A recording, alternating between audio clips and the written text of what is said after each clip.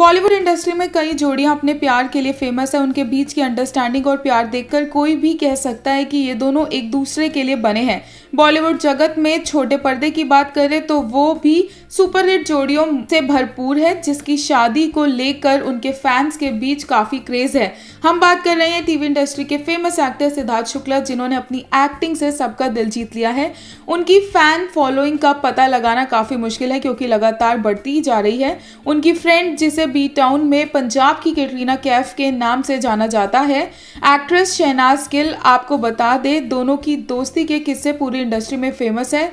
उनके फैंस और चाहने वाले दोनों की जोड़ी को खूब पसंद करते हैं। मीडिया में दोनों के अफेयर्स को लेकर भी कई बार सुर्खियाँ आती रहती है।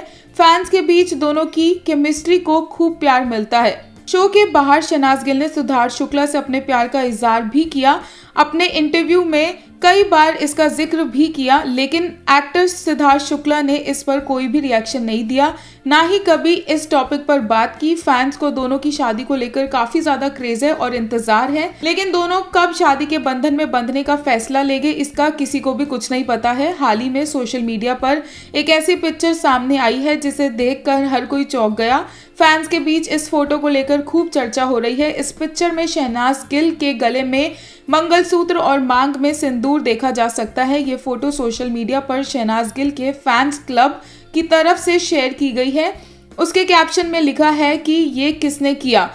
लेकिन आपको बता दें कि सभी फैंस एक ही सवाल कर रहे हैं कि ये कब हुआ। फ़ोटो में शहनाज गिल के साथ सिद्धार्थ शुक्ला भी है, जो काफ़ी खुश नज़र आ रहे हैं और उनकी सेल्फी लेते हुए दिख रहे हैं। आपको बता दें, ये फ़ोटो एडिटिंग करके बनाई गई है। इसमें कोई भी सच्चाई नहीं है। दोनों का हाल ही में एक सॉन्ग रिलीज़ हुआ था। शोना शोना जो 100 मिलियन से ज़्यादा व्यूज़ ले चुका है, वहीं ये दोनों गोवा में भी एक सॉन्ग की शूटिंग करके आए हैं, जो जल्द ही आउट होगा।